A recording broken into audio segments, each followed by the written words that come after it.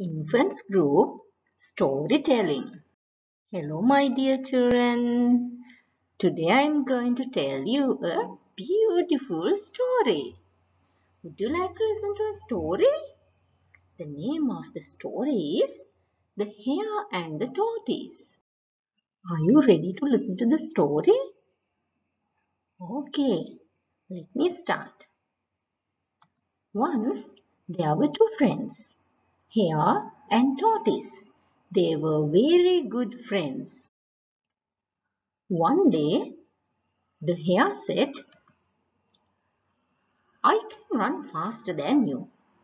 The tortoise said, Let's see who will run faster. So the tortoise challenged to a race, and soon the race began. Ready? Steady, go!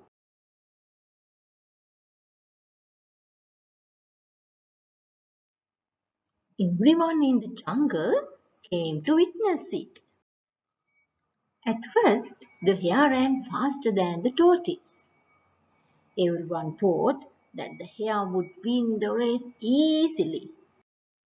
Although hare ran faster than the tortoise, he didn't give up hope. He kept on running.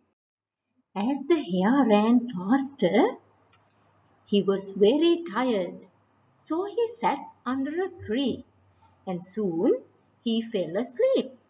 The tortoise kept on running and passed the hare.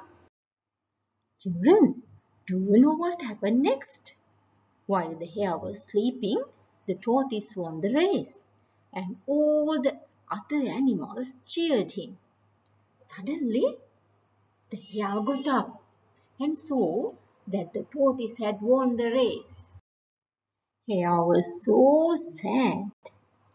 On the other hand, the tortoise was very happy because he could win the race.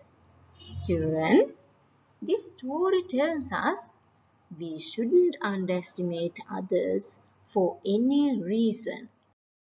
My dear children, I hope you have enjoyed this story well. I will tell you another interesting story later. Till then, thank you and stay safe.